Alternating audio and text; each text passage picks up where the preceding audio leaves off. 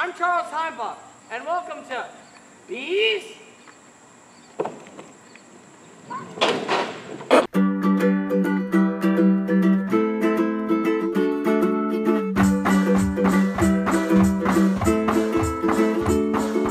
One fine summer day, my friends were walking through a meadow, and we were looking at the flowers, and I said, Hey, that's very my friend said, Hey, is that a bee? Oh yeah, you're right. And then the bee came and it startled us and gave us quite the fright.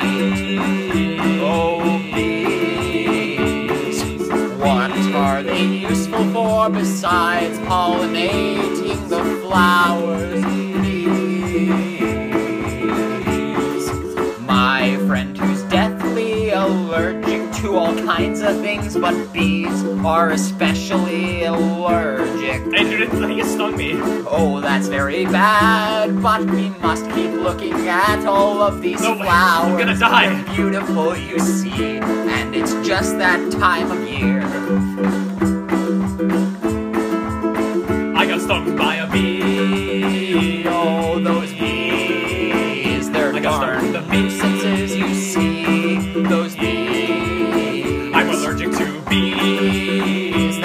very bad, you see. What Hey, dude, uh, I'm not feeling too good. Uh, that's, uh, that's unfortunate, you see, but, uh, then my friend got stung by a bee. Uh, no, I'm, I'm dying. He's deathly allergic and we had We gotta no get outta here. And he was hospitalized for a week, you Yo, stop telling facts about bees, man. I gotta get. These bees...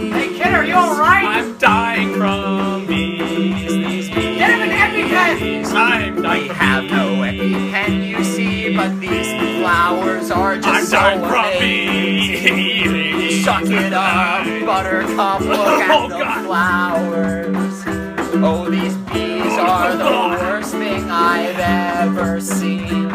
I honestly think wasps may be better. Actually, wasps, no, they're still dead. I'm allergic. yeah, bees, yeah, that's very true. Ah, These no, I'm dying. pollinate the flowers.